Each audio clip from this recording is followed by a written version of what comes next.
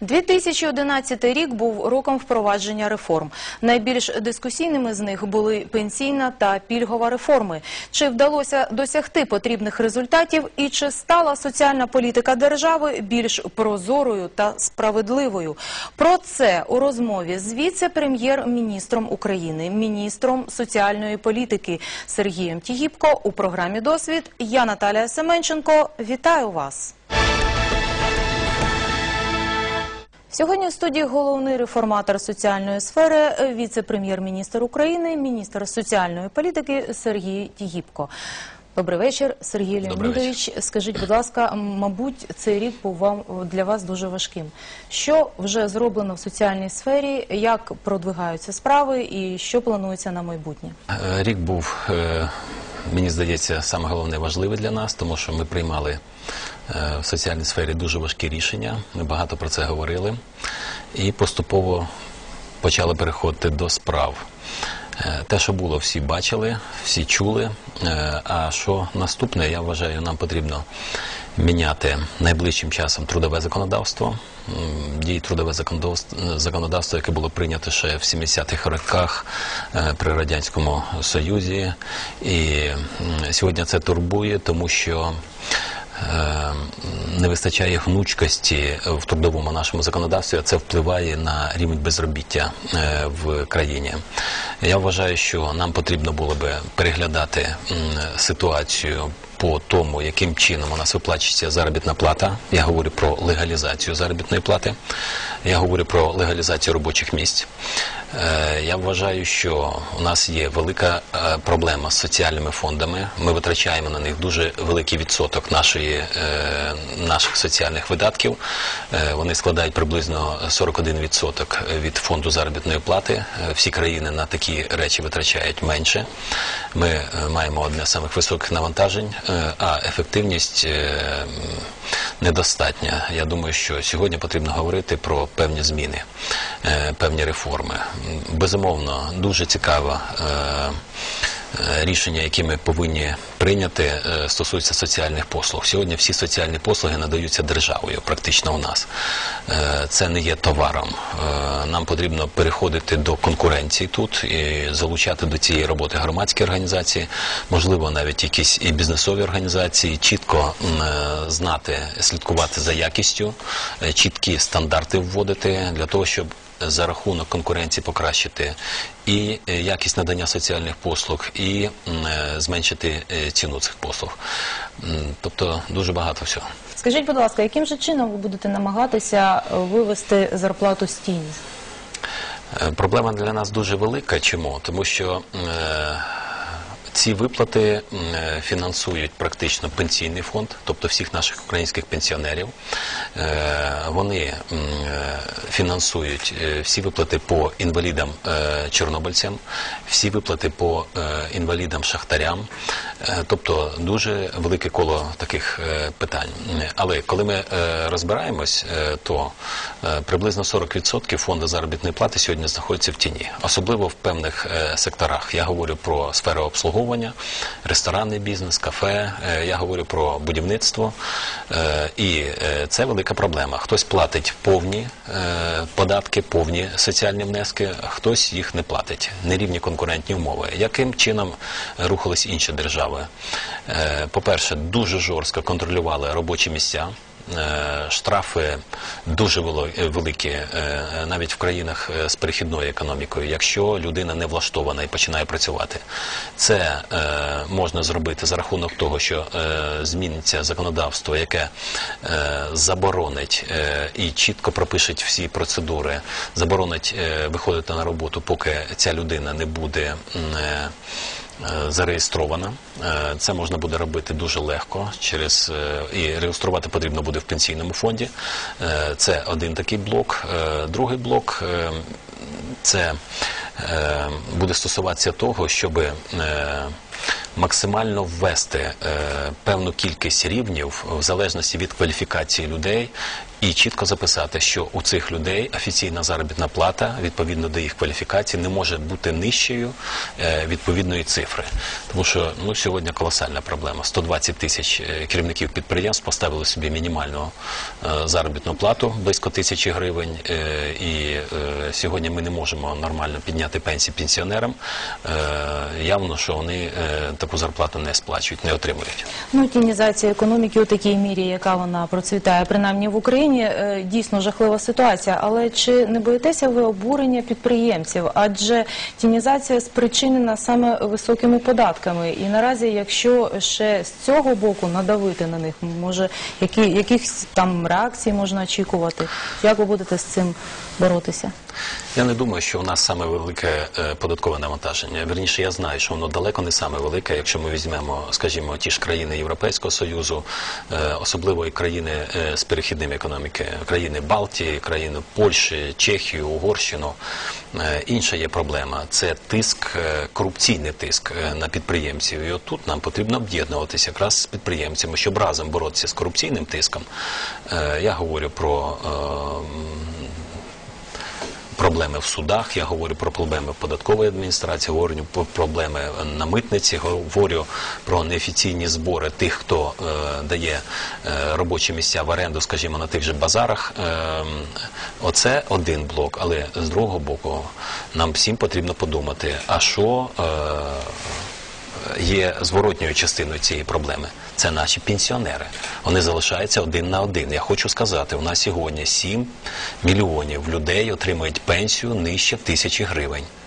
І тут без легалізації ми не обійдемося. Це все одно ми повинні фінансувати. Тобто всі причини криються саме у тіньовій зарплатні.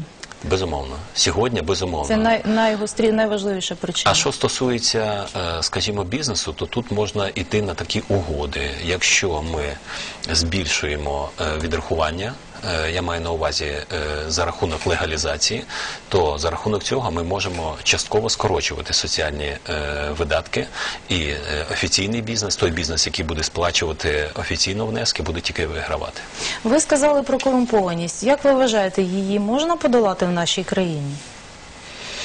Я за останні е, півтора роки був тричі у Грузії. Можу сказати, останній раз я е, е, проводив засідання комісії українсько-грузинської в Тбілісі, Е, і зі мною е, поїхали 115 бізнесменів, які проводили паралельно бізнес-форум, який відкривав я і прем'єр-міністр Грузії. Можу сказати, що більш корумпованої країни, ніж Грузія, е, на просторі біля нас в перехідних економіках не було. Це була ситуація 5 років. Після цього величезні зміни, в основному в двох напрямках. Е, Перший напрямок це дерегуляція. Е, Там, де держава е, могла не втручатися в бізнес, вона не втручалась. І чітке виконання закону.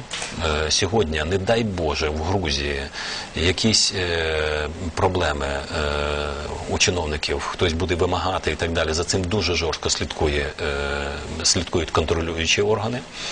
Е, Але з другого боку дуже жорстке ставлення. Тобто про це вже багато говорять, але дійсно в один день була звільнення е, повністю е, служба ДАІ, 10 тисяч людей. 10 тисяч людей було звільнено в один день. Скажімо, 5 років уже нема санепідемстанції. Вона просто була скорочена в один день теж, і до цього часу не відновлена. Е, Нічого не зупинилося, ніхто там не помер від цього і так далі. Тому тут е, 85% було змінено митників, причому тут була домовленість. Я, е, президент буквально е, з його слів е, говорив так: я вимагаю від вас припинити те, що ви зараз робите, і е, тоді ми можемо рухатись далі. Якщо ні, то будуть жорсткі е, кроки. Е, Люди не розуміли це, вони е, вважали, що це іграшки. Після цього буде отакі кроки зроблені. Тому з одного боку дерегуляція для того, щоб мінімально все спрощувати, щоб не було навіть е, можливості якоїсь заважати бізнесу робити свою справу. З другого боку, дуже різкі і жорсткі кроки. Ви економіст з багатим досвідом урядовим таким державного управління. Скажіть, будь ласка, чи доцільно порівнювати все ж таки Грузію з Україною? Адже це різні країни і за розміром, і за ресурсною забезпеченістю. Я вже не кажу про олігархічні клани і таке інше. Ми можемо дійсно взяти е, за приклад досвід Грузії. Е, Можна брати досвід Польщі, е, близькі дії з близьким ефектом. Можна е, брати досвід Туреччини, яка більше нас, і теж близькі дії, і теж Туреччина це 10 років, Польща це практично 15 років. Тому, коли ми говоримо про маленькі країни, такі як Естонія, як Грузія, то там є плюси і мінуси. Те, що говорить, скажімо, той же президент Грузії, він говорить з одного боку, е, нібито е, розмір це у нас перевага, а з другого боку, коли ти звільняєш, то ти звільняєш свого сусіда, свого родича е, і так далі. І е, це створює е, певні е, проблеми. Тому я би не ховався за якісь проблеми. Е, Потрібна політична воля і потрібні рішучі е, дії, велике бажання, і все можна змінювати. Дійсно, ви неодноразово казали в пресі щодо досвіду Естонії. Чому Естонії? З Грузією все зрозуміло. Естонія, тому що е, всі країни Балтії е, сьогодні е, по своєму бізнес-середовищу знаходяться десь в 20 країн світу. Грузія 12-та. Е, Самий лідер Естонія серед країн Балтії. Вона, якщо не помиляюсь, займає 24-ту позицію. Тому їздити, вчитися, переймати досвід, втілювати в нас. М, Добре, я вам вдячна, але все ж таки е, головне направлення вашої діяльності соціальна політика. У нас є питання від людей. Давайте їх почуємо і продовжимо нашу розмову. Перерасчет пенсии отменили. Несмотря на то, что у нас пенсия самая низкая вообще. В России 250 долларов э, пенсия средняя. Ну, низкая, самая низкая. Это я сегодня буквально узнал. В Европе минимальная пенсия 400 евро. О чем можно говорить? Это что, пенсия 800 э, гривен? Да? Это нормально, вы считаете? Скажите, пожалуйста, на кого будет распространяться налог на роскошь? Это будет касаться только простых граждан или коснется всех депутатов, всех тех, кто многоимущий по сравнению с нами? Почему у нас столько бумажек надо сдавать налоговую? Почему у нас все так сложно? Почему нельзя все упростить, сделать все очень прозрачно? А скажите, пожалуйста, вот, например, акции протеста чернобыльцев, афганцев, э, будут ли как-то удовлетворены их просьбы, решены их вопросы? И когда они начнут выплачивать э, устаревшие вот эти, э, или как они называются, вклады, вклады, те, которые при советской власти мы ложили на книжки. Вот у меня 14 тысяч. И они пропали, потому что их никто не выплачивает. В прошлом году, в этом году никто не выплачивал. Це все до мене. Да. Давайте так. Що стосується пенсії, то пенсії це е, пряма залежність від заробітної плати. Е, тому що е, якщо не буде зростати заробітна платня, не будуть зростати пенсії. Пряма залежність. Пенсійний фонд повністю практично фінансується за рахунок відрахувань від заробітної плати. Заплатили заробітну платню, оцих 40 приблизно відсотків відрахували до соціального фонду. З цих 40 відсотків 35 е, іде е, до пенсійного фонду. Тобто, це питання. Ми на це питання майже вже відповіли на Якщо- початку програми. Так, якщо ми не зможемо легалізувати е, сьогодні е, заробітну платню, нам дуже важко буде. Е, Радикально змінювати ситуацію з пенсіями. Чому? Тому що, от коли я говорю 40%, це одне з самих високих в світі. Всі фахівці говорять, якщо ми поставимо 45, це не дасть відповідного ефекту. Це тільки збільшить е, тінізацію, і е, бізнес буде ховати заробітну плату любою ціною, любою ціною, ніхто нічого не зробить.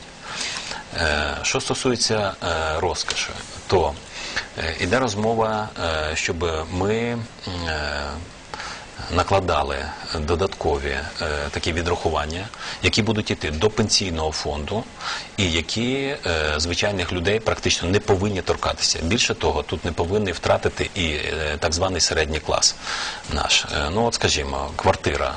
Квартира буде оподатковуватись більше 200 квадратних метрів. Якщо будинок, то пропозиція була оподатковувати будинок більше 400 квадратних метрів. Якщо машина, то е, ця машина повинна бути перше е, нова, тобто 7 е, років до 7 років, і її обсяг двигуна е, 3,5 тисячі кубічних сантиметрів. Якщо мотоцикл, то це е, тисячу кубічних сантиметрів. Е, вертольоти, е, гелікоптери, всі е, літаки, е, всі. Дорогі товари, е, 10% е, дорогих товарів, одяг, зброя і інші товари. Але починаючи з м, е, 20-30 тисяч гривень за одиницю. Е, Тобто е, йде розмова про те, щоб дійсно не чіпати середній клас, але йде розмова про те, що багаті, е, коли починається криза, коли дійсно важка ситуація в країні, е, поділилася своїми статками. Е, Я вважаю, що це абсолютно нормальна практика. Ще раз хочу е, вже сто разів казав, і ще 101 раз буду казати, в інших країнах багаті самі ініціюють е, такі питання.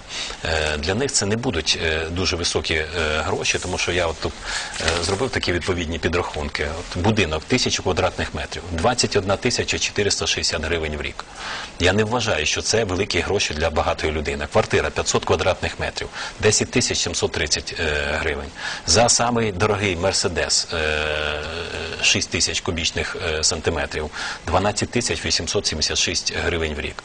Я вважаю, що це абсолютно підйомні цифри, які бізнес, багаті люди повинні заплатити. Скажіть, будь ласка, а хто встановлював межу розкоші? Як Ніхто. це визначено? Чому 200 метрів квартира, а не 150 Поки або що. 300? Поки що це е, я встановлював сам особисто. Е, і е, слухаючи всіх, але я можу сказати, слухати дуже важко, тому що е, коли я починаю розмовляти з представниками тої чи іншої категорії, приходять автомобілісти, кажуть, оце не потрібно включати. Приходять е, інші, кажуть, оце теж не включайте, і так далі. І так далі. Тому е, це такі експертні е, підрахунки. Ми самі е, робили ці підрахунки. Просто Тепер дуже багато суперечок саме з цією межою. Е, суперечки є і в одну сторону, і в іншу. Я багато дуже чую людей, яких е, 200 метрів, у кого ви бачили квартиру е, з бідних чи з середнього класу 200 метрів. Якщо він має е, квартиру 200 метрів, то це вже не бідна людина і не середній клас. Середній клас це каже до 150 метрів. От давайте таку межу і встановлюємо. І так далі. А дехто каже, давайте 100 метрів. Е, і так. Тому е, тут, е, а є інші, які кажуть, піднімайте це все. Е, Але е, я вважаю, що коли ми говоримо про не дуже великі гроші для людей заможніх, е, іде розмова, що з цим можна поділитися. Скажіть, а хто буде контролювати ці надходження? Розподіляти, направляти, мабуть, у пенсійний фонд, чи куди вони будуть діватися? Повністю 100% цих грошей буде йти у пенсійний фонд і дуже буде легке адміністрування. Тобто тут люди самі повинні будуть сплатити. Ну от скажімо, коли ми говоримо про такі автомобілі, це півтора відсотка всього людей в країні. Півтора відсотки мають отакі е, дорогі автомобілі. Вони це і заплатять. Е, що стосується інших е, е, питань по адмініструванню, то це чи буде при митниці при перетині е, кордону, чи при купівлі тих чи інших товарів будуть е, самі е, магазини адмініструвати це. Добре, скажіть, будь ласка, така е, чудова практика, як ви вже е, сказали, яка у багатьох країнах е, діє. Чому вона у нас запроваджується на 5 років, якщо я не помиляюся? Так, практично всі країни е, роблять це як захід е, подолання кризи. Е, тому що, е, в принципі, якщо говорити, то е, за це люди теж платять. Вони показують доходи, а доходи потрібно супроводжувати податками відповідними і так далі. Вони платять акцизи, якщо у них дорогі автомобілі, вони багато їдять. Але я можу сказати так, де 5, там і може сім буде. Сподобається державі, сподобається людям, може і продовжить термін. Тобто ми вже з наступного року починаємо прямо з наступного Ні, поки що це ініціатива Міністерства соціальної політики. Зараз ми пройдемо це е, через Кабінет міністрів Верховну Раду. Це потрібно, щоб ще прийняла Верховна Рада. Скажіть, будь ласка, тоді таке питання. А що стосується е, ну щодо правил до фіз осіб, це зрозуміло. А якщо будуть ми будемо стикатися з такими випадками, коли людина буде оформлювати на юр особу? Ну, е, Нерухомість є таке певні, є певні можливості, і я можу сказати, що е, наступним кроком потрібно було би зробити відповідний податок і на юр е, осіб.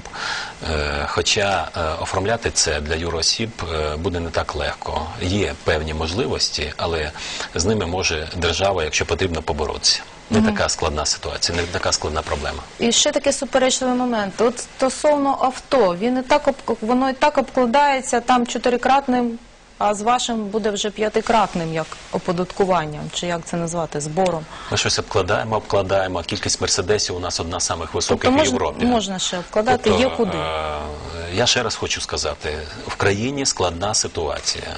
В країні сьогодні загроза зростання бідності.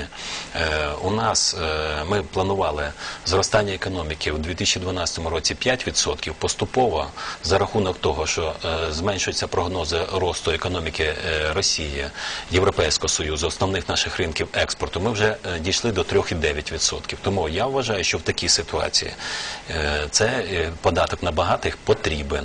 Хоча я ще раз можу сказати, всі мені кажуть, коли починається торкатися конкретно їх, що це не потрібно. Я вважаю, що це потрібно.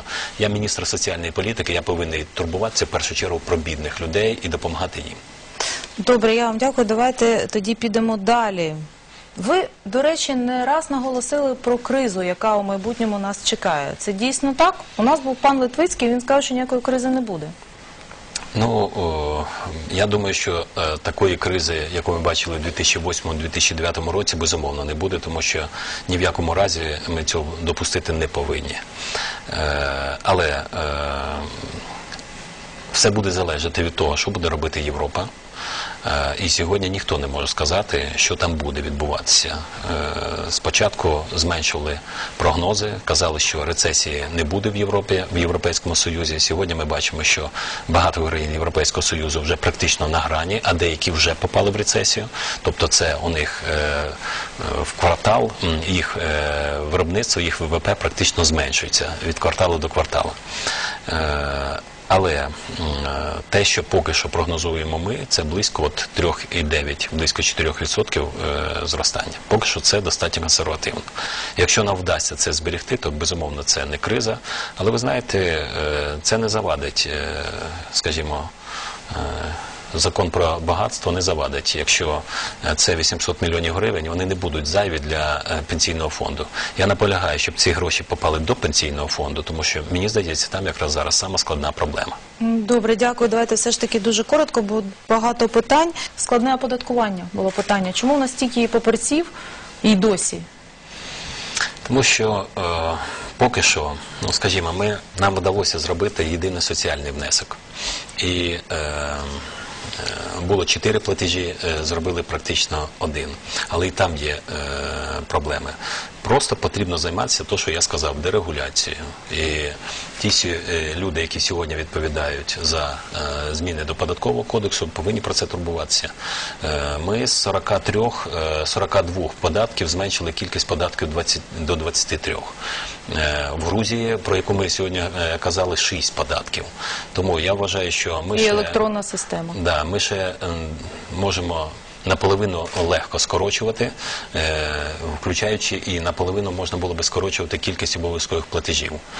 Е, тобто просто зменшувати кількість самих податків і спрощувати е, адміністрування. У наступному році це передбачається на- над цим працювати, принаймні вводити електрон- електронну систему, якось скорочувати цей процес з огляду на кількість папірців. Е, Я от е, тільки сьогодні провів е, переговори з командою Світового банку, і я вважаю, що от для нашого бізнесу сьогодні питання оподаткування одне з самих складних, тому що тут ми займаємо одну з самих гірших позицій в світі. Майже останню. І ми домовилися, що от зараз ми чекаємо до е, Різдва, до свят е, пропозицію від Світового банку. Я хотів би, щоб приїхала сюди ціла команда фахівців, які б допомогли нам так ззовні подивитися на е, проблему і прийняти відповідні е, гарні рішення. Люди е, з дуже гарним досвідом, які знають практично досвід цього світу. От якщо нам вдасться е, взяти їх, то е, я думаю, що ми попробуємо змінити ситуацію на краще. Щодо застарілих внесків, вони будуть повертатися таке питання? Потрібно, я вважаю, що це зобов'язання держави, і нам потрібно знаходити варіант, яким чином е, їх е, нам потрібно вирішувати. Те, що е, ми зробили практично в одному році таку виплату після цього криза, після цього ми виходимо з цієї кризи, і ми забули про цю проблему. Люди пам'ятають. І я вважаю, що їх потрібно. Ці виплати потрібно робити. Е, Ми пошукаємо варіанти. Не обов'язково це повинні бути е, живі гроші. Це можуть бути зобов'язання держави, які будуть оформлені облігаціями. Сьогодні вже е, практично ось ось буде рішення готове, коли ми такі облігації можемо оформляти в прив'язки до е, валюти, е, скажімо, до того ж долара. Е, такі облігації е, не обов'язково, щоб отримували самі люди. Якщо, не дай Боже, людина е, не зможе дочекатися, це буде е, успадковуватись. Тобто я налаштований на те, щоб такі кроки робити, і це потрібно робити. Тому що е, е, Ощадбанк це державний банк. Люди вклали гроші. Він був Ощадний банком Радянського Союзу, але тепер він е, Ощадний банк і Державний банк України. Я вважаю, що тут потрібно розраховуватись, не дивлячись ні на що. Добре, дякую. Скажіть, будь ласка, як ви будете домовлятися, може вже домовилися з афганцями і чорнобильцями? Адже е, в пресі неодноразово нарікалося, що у бюджеті нема таких грошей, щоб задовольнити усі потреби, які висуваються.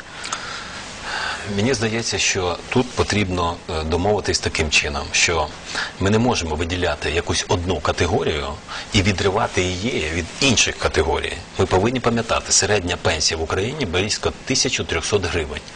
І коли мені говорять, що виконуєте рішення судів, де е, буде пенсія у когось 8 е, тисяч гривень, у когось е, 6400, у когось там 5 тисяч, і це буде така е, звичайна практика, і таких людей буде близько 50 тисяч е, грив, е, людей, тисяч е, самих, е, то е, ви знаєте, е, я завжди думаю, а що буде з тими пенсіонерами, які отримують от таку середню пенсію, то і нижче у кого пенсія. Е, Ми провели відповідні переговори, і ми домовились і знайшли гроші е, з. Е, Інвалідами війни, куди входять в тому числі і воїни-інтернаціоналісти. Ми підняли е, на 2012 рік їх е, пенсії для інвалідів, їх пенсії на 20%. Ми змогли підняти виплати для е, родин загиблих на 30%. Ми змогли покращити е, лікування для цієї категорії, більше грошей е, виділити е, на е, протезування е, і так далі. Е, Більше грошей ми виділили на е, візки. Е, Я вдячний Верховній Раді. Ми практично скасували торги по візкам інвалідським, і тепер це буде ваучерна система, яка дозволить інваліду вибрати той візок, який він хоче, а держава за нього заплатить, враховуючи собівартість цього візка, і буде мінімальна ціна. Тому я вважаю, що тут ми більш-менш питання вирішили. В проєкті в бюджеті це вже є. Що стосується е, ситуації по е, інвалідам-ліквідаторам Чорнобильської е, аварії, тут е, ми пішли трошки іншим шляхом. Коли е, були, е, а таких випадків було два в Україні, е, коли проводилось осучаснення пенсій і людям перераховували пенсію е, ліквідаторам, е, двічі е, пенсії не перераховувалися. Я вважаю, що це була така певна соціальна несправедливість, тому що я думаю, що тоді е, адміністратори е, від влади е, розмірковували таким чином. У них і так е, достатньо високі пенсії, у них була висока заробітна платня, їм е, не потрібно це робити. Але не треба забувати деякі речі. Перше, цих людей стимулювали виключно заробітною платньою. Їм нічого такого серйозного держава не давала. Їм в першу чергу давали гроші і казали: ось тобі компенсація за втрачене здоров'я. І якраз з такого боку потрібно на це і дивитися. Вони сьогодні, ті ж інваліди, 400, 500, хто 600 гривень витрачає на лікування в місяць. Тому ми вважаємо, що їх потрібно перевести і е, легалізувати їх заробітну платню, так як ми зробили це всім українцям. Тут нема ніяких пільг, ми не даємо їм чогось зайвого. Вони отримують те, що вони заробили, е, якраз по 2006 році. Ми не змогли піти на те, е, тому що пропозиції від них були поставити 2010 рік. Вони хотіли інші ще е, е, моменти. Ми не пішли за це на це. Ми змогли погодити з ними. Е, може, вони не у всьому погодились з нами, але все ж таки ми е, сказали, що ми зробимо такий крок. Такий крок е, коштує державі е, 2 мільярди 200 мільйонів гривень. І ось податок на багатство, податок на офшорні зони, які зараз ми ініціюємо. Ми пробуємо зібрати ці гроші за рахунок багатих практично людей і за рахунок багатих корпорацій для того, щоб відновити якусь соціальну справедливість. Добре, ми ще е, торкнемося оподаткування офшорних зон. Скажіть, будь ласка, як буде контролюватися розподіл пільг? Адже чимала кількість людей е, не має жодного відношення до них і все ж таки їх отримує. Як ви будете встановлювати цей момент? Е, Коли ми говоримо про пільги, то е, коли подивимось на практику Західної, скажімо, Європи чи перехідних країн е, Східної Європи, дуже жорстко отримувати е, якусь соціальну допомогу взагалі. Е, Тобто е, держава контролює е, те, сам процес, кому вона видає. Я міністр соціальної політики, який відповідає за ці гроші. І ці гроші повинні попасти до бідної людини. В Україні 23% соціальної допомоги попадає до бідної людини, а всі інші ми роздаємо по категоріям, не визначаючись, це багата родина чи не багата родина. Як це буде визначатися? Ну, по-перше, я вважаю, що е, нам потрібно відміняти е, галузеві пільги. Те, що ми сьогодні маємо, це абсолютно такий, я би сказав, в поганому вигляді радянський приклад, коли пільга надається, але е, надається всієї категорії. Ну, скажімо, всім народним депутатам. Ми повинні розібратися, е, що у народного депутата робиться з доходами на родину. І якщо, умовно кажучи, ці доходи на родину менші, ніж прожитковий мінімум, хай народний депутат отримає. Тобто Але- ви пропонуєте скасувати депутатські пільги? так. Я вважаю, що от таким кроком ми скасуємо практично всі депутатські пільги. Е, Депутатам Верховної Ради, я пропоную теж саме подивитися на депутатів місцевих рад, допомагати бідної людині. Як Основний відреагували принцип. депутати на таку вашу пропозицію? Е, Мені здається, що е, я слухаю е, голову Верховної Ради, і він говорить приблизно про те ж. І от такий підхід, я вважаю, що ми повинні е, застосовувати до всіх практично категорій, допомагати бідної, не дивлячись на те, є е, категорійна пільга чи ні. Якщо це буде, от тоді хоча б 60-70% буде попадати до бідних українців, і це змінить ситуацію. Тобто в нашій країні можливо е, заставити депутата відмовитися від своїх пільг? Я вважаю, що от е, всі країни пробують робити таке. Вони платять нормальну заробітну плату, нормальну заробітну платню і е, кажуть, оце крапка. Вони можуть виділити дуже обмежені категорії дуже заслужених людей е, в країні і допомагати їм.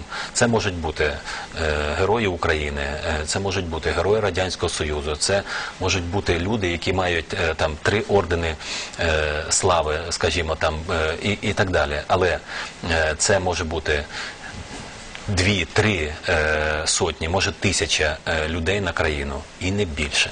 А така практика щодо перевірки холодильників. На предмет е, споживання родини, вона буде залучатися? Все ж таки, якщо е, в рамках однієї пільги визначити, кому вона потрібна, а кому ні. Про це теж багато писали в Про це багато писали, і на, на мій погляд, е, погано, що писали е, люди, які не хочуть розбиратися в ситуації. От скажімо, зв'язали це з допомогами е, жінкам, які самі виховують е, дітей. Нема близько там такого. Іде просто спекуляція. А про що йде розмова? Йде розмова про те, що ми ведемо експеримент в п'яти області, в п'яти районах трьох областей. Е, Де е, буде перевірятися е, дохід родини. Прийшла родина, говорить, ми бідна родина, дайте нам допомогу як родині. Держава повинна побачити їх статки, їх доходи, але в деяких випадках будуть зловживання. І вони сьогодні є. Якщо я підготувався, скажімо, по цьому питанню, він би міг вам сотні тисячі звернень, які ми не задовільняємо, тому що ми перевіряємо, у людей є достатки. Е, вони умовно купили автомобілі, приходять за допомогою. Вони е, мають. Певні доходи, які вони не декларують, які вони не показують, і приходять за допомогою. Тому держава тут повинна берегти свої гроші, тоді їх буде більше вистачати для бідних. Е, Але цей експеримент поки що ми е, не закінчили навіть. Ми його завершуємо до кінця цього року. Після цього ми зробимо висновки. Він йде разом з фахівцями Світового банку. Ми зробимо висновки, і після цього подивимось, які заходи ми в нашу практику будемо вводити. Це питання не затягнеться до виборів. Е, Воно може затягнутися, скажу відверто, воно може затягнутися, тому що якщо буде потрібно вносити зміни, от е, в законодавство такі рішення. е, Мені здається, абсолютно справедливі і правильні рішення, тому що суспільство повинно турбуватися за ці гроші як за свої власні. От тоді буде порядок, тоді буде вистачати цих грошей. З одного боку, робити кроки по оподаткуванню багатих корпорацій, робити чесні ці податки для того, щоб було, щоб всі платили однаково, коли ми говорили про е, легалізацію, е, і справедливо їх ділити е, суспільством допомагати, кому важче всього проявляти солідарність в першу чергу до самих бідних. Дякую, Сергій Леонідович. Скажіть, будь ласка, наступного року, принаймні наступного року, е, е, буде підвищуватись мінімальна пенсія і допомога на дитину? Буде все підвищуватись, тому що якщо ми взяли от е, у 2012 році. е, Прогноз інфляції ми е, сказали, що буде 7,9%, то прожитковий мінімум для дітей віком до 6 років збільшується на 10,5%, віком дітей від 6 до 18 на 14,9%, працездатних осіб на 12,9%, осіб, які втратили працездатність на 10,5%. Коли ми говоримо про допомогу при народженні дитини, ми практично за півтора е, року збільшили першу дитину було 12 тисяч 240, зараз 26 тисяч 100. До кінця наступного року буде 28 тисяч 830. Е, Друга дитина було 25 тисяч, стало 52 тисячі 200, буде 57 тисяч 660. Третьої дитини е, було 50 тисяч, зараз 104 тисячі 400, е, буде 115 тисяч 320. Тобто тут ми е, максимально стимулюємо народжування наших дітей і достатньо серйозну підтримку. Добре, дякую. Тоді перейдемо до оподаткування офшорних зон. Скажіть, будь ласка, чому без Кіпру? Можу сказати так: по-перше, не треба е, лякатися цих офшорних зон, е, знаєте, як чорт ладана. Е, тому що всі країни з ними працюють, весь бізнес з ними працює. Що роблять інші країни? Вони кажуть, ми вам не, забода- не забороняємо працювати з офшорними зонами. Тільки, будь ласка, заплатіть певні гроші у свій бюджет і, будь ласка, ідіть туди. Нам важко забороняти працювати з тим же Кіпром. Чому? Тому що всі йдуть туди не тільки від того, щоб податки е, зекономити, а вони ще йдуть туди, щоб захистити власність, тому що там діє англійське право і так далі. Е, Там легко проводити ті чи інші е, операції. Але яким чином нам потрібно розібратися з цими офшорними зонами? От сьогодні у нас ми маємо в переліку офшорних зон 36 всього офшорних зон. І оце ми багато говоримо про це, але 36 так і залишається. Країни е, Білорусія, Казахстан, Росія мають 70 офшорних зон в переліку. Е, Ми обмежуємо певну кількість операцій. Ми говоримо, що якщо у вас буде операція з такими офшорними зонами, то в вашу витратну частину ці операції не попадають. Витратну частину можна знайти 100 різних е, заходів, яким чином накрутити без цього. Е, тому ми пропонуємо першим кроком збільшити кількість оцих зон з 36 десь до 60 80, е, 8, е, 70. Перше. Друге, всі транзакції вивозу з України товарів, грошових е, коштів чи цінних паперів обкладати е, певним податком. Іде розмова про ставку в 12%. От ми вважаємо, що, будь ласка, працюйте. Що, що хочете, робіть з цими офшорними зонами, заплатіть 12%. Чому, е, скільки це дасть? Це дасть 3 мільярди приблизно гривень додатково, яких нема в бюджеті. Оце вирішить питання і чорнобильців, і вирішить, е, я говорю про е, інвалідів-ліквідаторів, про їх осучаснення. І це вирішить питання і тих же воїнів, е, учасників війни. Що таке Кіпр? Кіпр пробували вирішувати і включили у 2005 році. Була така ініціатива, включили їх до переліку офшорних зон. Кіпр зразу звернувся до Брюсселю, до керівництва Євросоюзу. Міністерство економіки внесло. Е, Міністерство е, іноземних справ України в 2005-му вийшло на кабінет міністрів і відмінили е, цю постанову. До Кіпру потрібно підходити трошки з іншої сторони.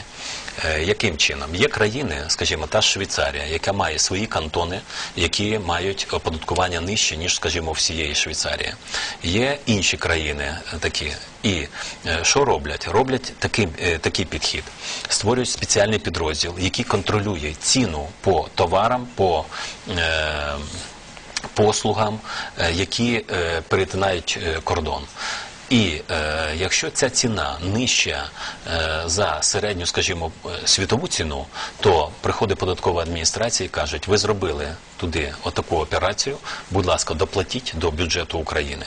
Е, от моє завдання зараз до кінця грудня таку систему відпрацювати. Це нелегка система. Її е, важко буде адмініструвати. Я боюсь, що бізнес буде теж е, Опиратися. е, упиратися е, по цьому питанню. Чому? Тому що там достатньо серйозні повноваження е, будуть е, у податкової адміністрації, яка і сьогодні е, бізнес не радує своїми, знаєте, якимось лояльним ставленням. Добре, хоча побутує думка, що Кіпер виключили саме з приводу того, що там реєструється багато. Скажімо, українських капіталістів, і е, вважається, що ви е, таким е, заходом захищаєте їх. Ні, я знаєте, я тільки не люблю е, оці баликанини, тому що ті, хто більше всього балакав 5 років, вони не зробили ні одного кроку і не змогли це вирішити. Нам потрібно робити реалістичні кроки. Якщо нам вдасться зробити от той захід, який я сказав, я в грудні запропоную. Будь ласка, хай депутати візьмуть і проголосують його тільки. А як підхід, він буде абсолютно конкурентний. І е, повірте мені, це не я придумав. Ми зробили дослідження, яким чином е, вирішити е, це питання. Це дослідження робила достатньо серйозна велика компанія Ernst Young, московський офіс, яка писала і допомагала вирішувати такі питання тої ж Росії, Казахстану і багатьом іншим країнам світу, яка має цей досвід. І ми його зараз пробуємо прописати. Ми його пропишемо. Дай Боже, щоб його тільки підтримали і прийняли. Скажіть, будь ласка, ратифікація е, домовленостей з Росією про зону вільної торгівлі в СНД, вона ніяк не заважає домовленостям е, з Європою. Ні, е, ніяк вона не заважає, і я вважаю, що ми не повинні зменшувати впливу Росії і важливості Росії для нас, як для ринку, як для торговельного партнера. Е, е, Тому що, знаєте, ми трошки захоплюємося такою європейськістю, е, забуваючи, що 27% експорту, 26% у нас йде в Росію, 27% в Європейський Союз нашого експорту йде. Ще 10% в інші країни Можна ще сказати, що саме йде в Росію. Да. Туди причому Росія це для нас туди йде машинобудування наше, туди йде переробка сільського господарства, що в Європу не йде. Тому підтримувати зв'язки з Росією, мати нормальні стосунки торговельні дуже важливо. Дві зони вільної торгівлі побудовані е, на принципах міжнародних, і вони абсолютно ідентичні по підходам своїм. Е, Тому там ніяких протиріч нема. Е, Я вважаю, що і та, і та угода нам сьогодні надзвичайно потрібна. Дякую. І стосовно все ж таки кризових станів, співпраця з МВФ у майбутньому, якою ви її бачите? Мені здається, що е, дуже важливо все ж таки мати програму з міжнародним валютним фондом, тому що на це дивляться всі інвестори. Коли ми говоримо про подолання кризи, то е, криза, от в таких умовах, коли наші е, ринки, куди ми експортуємо свій товар, будуть падати, будуть зменшувати свої обсяги споживання, е, нам потрібно думати про внутрішній ринок, про розвиток внутрішнього ринку. Що таке розвиток внутрішнього ринку? Це в першу чергу платіть нормальну заробітну платню, підвищуйте її, платіть нормально пенсію, підвищуйте її. Але з другого боку, це інвестиції, це інвестори, які приходять і вкладають відповідні гроші. Е, Тому е, а інвестори дивляться так: є співпраця з міжнародним валютним фондом, нам доцільно туди йти. Якщо ні, ми можемо піти, але це додатковий ризик. Вони менше будуть вкладати, вони е, не всі будуть іти. Тому, але МВФ це нелегка проблема для нас. Тому, тому що це проблема тарифів. Тарифів на е, газ для населення Але і ми тарифів на маємо комунальні послуги. користуватися допомогою МВФ. Будемо користуватися нею. Не знаю. Я би сьогодні не був таким впевненим, тому що піднімати сьогодні тарифи е, до того рівня е, цін на газ, які сьогодні ми маємо з Росією, нам важко. Е, це На вимогу дуже високі, МВФ. так на вимогу МВФ. Це дуже високі ціни. Я вважаю, що ми повинні дуже серйозно попрацювати з Росією, намагатися максимально зменшити ціни на газ, довести їх хоча б до рівня, хай там 10-15% вище ніж у тої ж Білорусі, а не так як у нас зараз практично в два рази вище. Е, і от після цього можна буде думати про тим, е, яким чином е, буде піднімати, наскільки тарифи. Перед цим безумовно треба думати, яким чином захистити знову бідних, тому що це буде колосальною проблемою для них, і вони не повинні відчути цього, повинні все ж таки заможні, знову багаті частково розрахуватися, частково десь держава повинна знаходити певні гроші. Добре, і я не можу не спитати наприкінці програми все ж таки про ваші політичні амбіції. Ми вже знаємо, що сильна Україна, принаймні е, на сьогодні, е, намагається з'єднатися з партією регіонів. Ви можете прокоментувати для нашої програми ці події? Поки що е, важко коментувати. У нас ідуть переговори. Переговори нелегкі. Ми говоримо про програмні засади. Ми проговоримо про е, підготовку і з чим ми підемо на вибори е, 2012 року. Е, Ми говоримо про ті проблеми, які сьогодні є в країні, і про які говорить е, той же бізнес в першу чергу, тому що вони відображаються на кожній родині практично в Україні.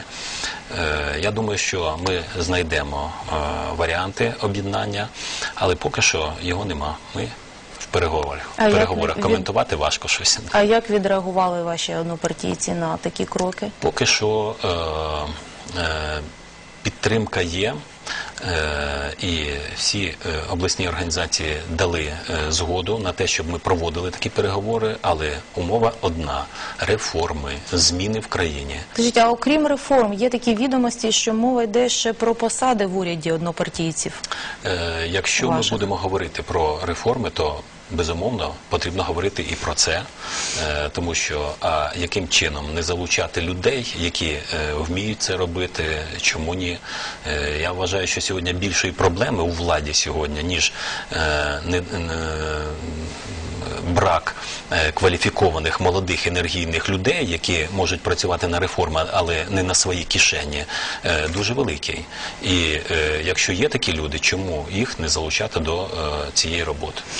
Який відсоток людей можна залучити з сильної України до партії регіонів? Ви знаєте, я би не говорив про якісь там тисячі е, людей, але коли ми подивимось на всю державу, сотні таких людей ми б могли запропонувати і пропонуємо. Скажіть, е, головна мета наступного року ваша, як е, віце-прем'єр-міністра, міністра соціальної політики? Ми повинні е, не дивлячись ні на що, зробити в 2012 році кроки вперед. Е, Ми говорили про непопулярні речі е, перед цим. Сьогодні багато речей, які ми можемо зробити абсолютно, е, які будуть підтримані е, людьми. А це важливо. Друге, втримати економіку нашу, щоб люди не відчули проблем, щоб люди відчули. Е, Інфляція зросла, але їх пенсії, заробітна платня зросли більше, щоб їх достаток збільшився. Я вважаю, е, це важливо. Ну і ще е, нам потрібно подумати про певний перерозподіл, щоб більше грошей попадало до бідних людей в Україні. Це Мені здається, зараз саме, саме важливо.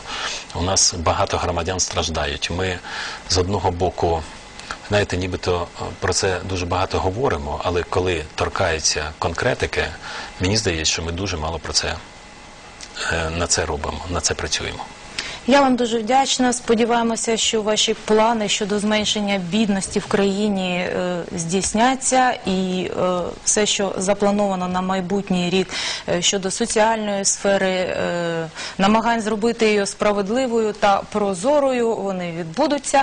І я вдячна вам за дуже змістовну, корисну, я вважаю, розмову телеглядачам за увагу. З вами була програма Досвід. Я Наталя Семенченко. Дивіться нас наступної середи. Thank you.